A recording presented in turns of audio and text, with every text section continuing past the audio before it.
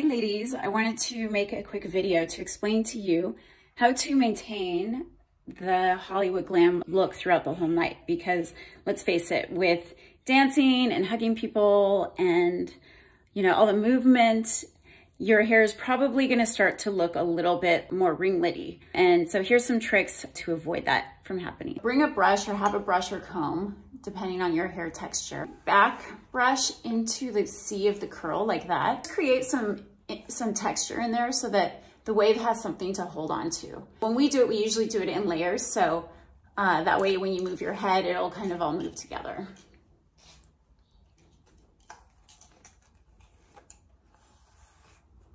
And it's okay to brush all the way through the hair if you need to, to kind of reshape it before you build the texture in like this.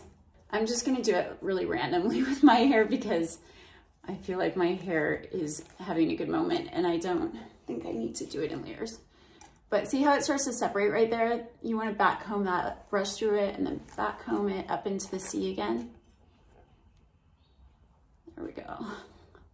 Bam.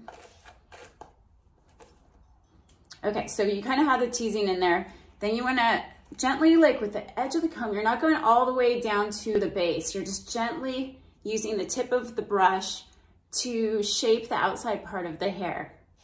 I love that. so satisfying. Then you wanna take your hairspray and light spray, and do it again.